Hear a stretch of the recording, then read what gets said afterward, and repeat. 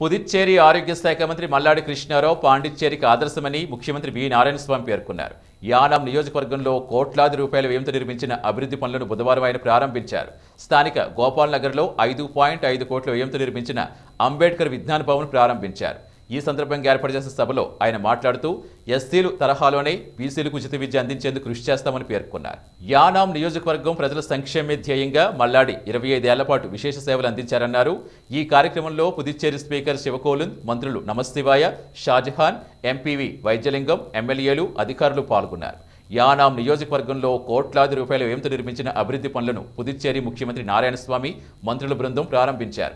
యానాం శివారి గిరియంపేటలో నిర్మించిన రక్ష హరికృష్ణ ప్రభుత్వ ఇంజనీరింగ్ కళాశాల Daryalathippa out post police station Gopal నగర్లో ఐదు పాయింట్ ఐదు కోట్ల వ్యయంతో నిర్మించిన అంబేద్కర్ విజ్ఞాన భవన్ ప్రారంభించారు అదేవిధంగా నియోజకవర్గంలో కోట్లాది రూపాయల వ్యయంతో నిర్మించనున్న పలు అభివృద్ధి పనులకు భూమి పూజ చేశారు நீங்க பா போகும்போது உங்களுக்கு இருக்குது வேற உங்களுக்கு நீங்க போகும்போது போயிட்டு வரணும் சொல்லும் போது இருக்குது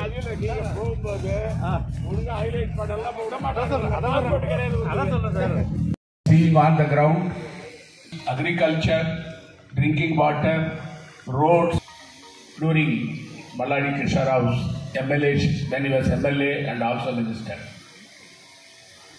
This Vigyan Bhavan, in fact, we are going to open Kamaraj Mani Mandapam in Puducherry. We would like to have this type of facilities in Kamaraj Mani Mandapam where civil service examinations uh, training center.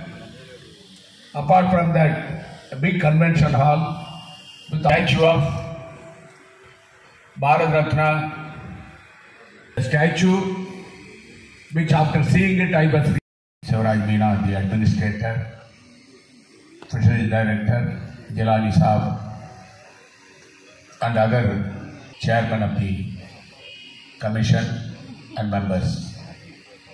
We are coming here after more than one year. Every year we used to come to Yanam to inaugurate several schemes and projects which have been initiated and executed during the regime of Sri Malladi the Honorable Minister.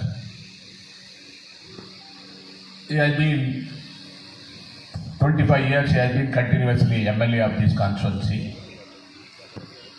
He has been working very hard for developing Yanam. In fact, is in his entire life, his contribution for bringing various projects and schemes for Yanam. The people of Yanam always accept